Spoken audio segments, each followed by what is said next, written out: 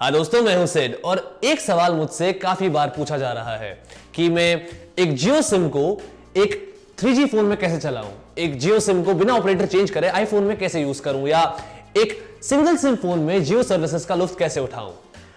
इसके ऊपर बहुत सारे वीडियोस YouTube पे ऑलरेडी बन चुकी हैं, पर उनमें से आधे से ज़्यादा या तो फेक हैं और बाकी जो बचे हैं वो या तो उल्टे सीधे मेथड्स बताती हैं या बिल्कुल ही बेकार हैं।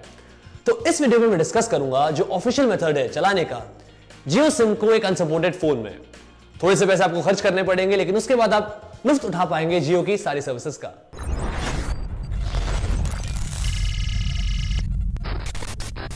मैं बात कर रहा हूँ जियो फाइव टू की। आप में से काफ़ी सारे ऐसे होंगे जो इस गैजेट के बारे में ऑलरेडी जानते हैं, पर काफ़ी सारे ऐसे भी हैं जो नहीं जानते। और उन सबको मैं बता दूँ, एक बहुत ही काम की चीज़ है।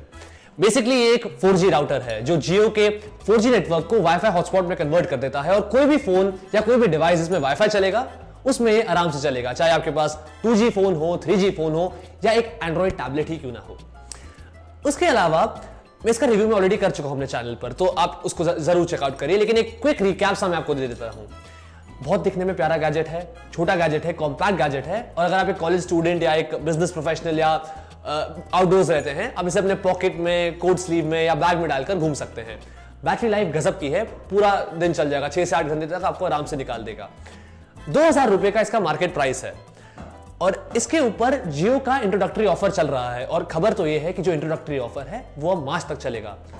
तो हो सकता है आपको अगले साल तक फ्री वाईफाई फ्री सर्विसेज़ और फ्री कॉल्स मिल जाएँ। और हाँ कॉलिंग की बात भी कर लेते हैं, क्योंकि आप में से बहुत सारे होंगे जो फ्री कॉल्स और फ्री एसएमएस के लिए एक्साइटेड हैं। तो उनको मैं बता दूँ, ये इस देश का शायद पहला 4G डोंगल है, जिसमें कॉलिंग सपोर्ट की गई है।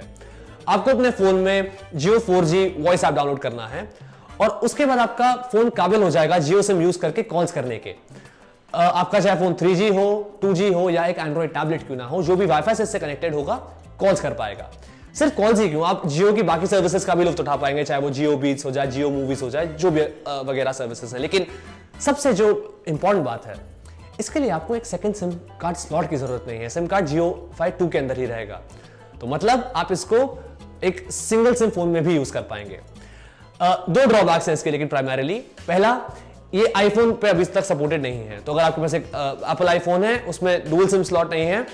आप इसके सिर्फ़ 4G नेटवर्क का फ़ायदा उठा पाएँगे डोंगल के थ्रू आप कॉल्स नहीं कर पाएँगे। दूसरी बात, इसको आपको पूरा टाइम कनेक्टेड रखना पड़ता है अपने जियो फाई टू से। मतलब अगर आपका जियो फाई टू की बैटरी खत्म हो गई, आप कॉल्स भी नहीं कर पाएँगे। तो ये था सबसे आसान ऑफिशियल और लेजिटिमेट तरीका जियो सिम को एक अनसपोर्टेड फ़ोन में चलाने का। चाहे एक 2G फ़ोन हो 3G फ़ोन हो एंड्रॉइड टैबलेट हो या एक सिंगल सिम फ़ोन ही क्यों ना हो, जिस फ़ोन में भी वाईफाई सपोर्ट करता है, उससे ये कंपैटिबल होगा। और काफ़ी फ्यूचरिस्टिक गैजेट है मेरे हिसाब से, क्योंकि अगले साल जब जियो कमर्शलाइज हो जाएगा टैरिफ्स आ जाएँगे तो भी उसके फोर जी टैरिफ सबसे सस्ते रहेंगे। तो एक अच्छी इन्वेस्टमेंट है। और अगर आप एक सिंगल सिम फ़ोन लेने से कतरा रहे हैं, ये सोचकर कि मैं जियो सिम कहाँ फिट करूँगा, मत घबराइए ये सस्ता जुगाड़ मौजूद है। मैं उम्मीद करता हूँ ये वीडियो आपकी मदद करेगी, और इसको लाइक और खासकर शेयर करना मत भूलिए, ताकि और लोगों की भी हम मदद कर पाएँ।